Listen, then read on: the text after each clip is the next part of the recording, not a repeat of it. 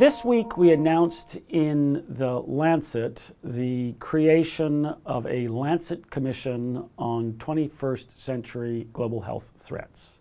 This commission is chaired by Natalia Kanem, the Executive Director of the United Nations Fund for Population Activities, and by myself.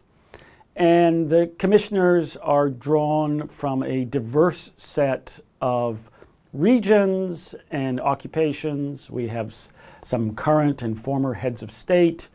We have leaders of public health institutions in each of the regions of the world. We have global thought leaders on particular types of threats. We have youth representatives. We have uh, some of the key leaders of global funding uh, organizations.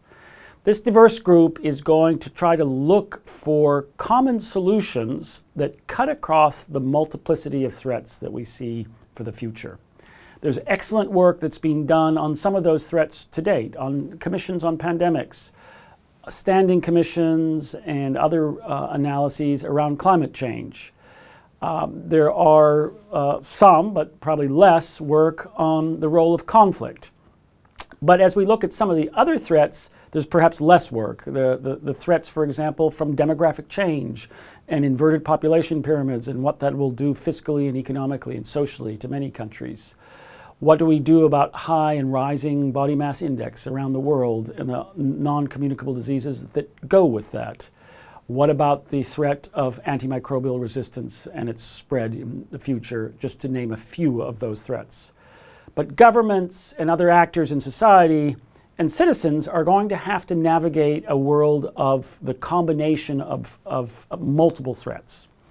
And the purpose of this commission is to look at the evidence and see if there are common strategies that might uh, help societies manage that multiplicity of threats, looking far past the SDG target year of 2030 and into the middle of the coming century.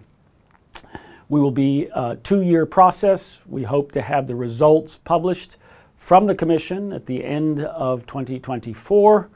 And there will be, uh, once the Commission has its first meeting, the creation of a number of working groups that will also be a mechanism for hearing evidence and bringing evidence to bear on uh, what the future might hold. We hope to use quantitative forecasting tools as, a, as an input and as well as scenario building. How can we change that future, reduce the potential harm from these threats, um, and uh, have a diverse set of voices from around the world feed into what we hope will be an important and useful set of recommendations. So look, uh, uh, pay, look forward to uh, more coming on the Commission. And there is also a website for the Commission, Global Threats commission.org, which will provide information on the status of the work uh, as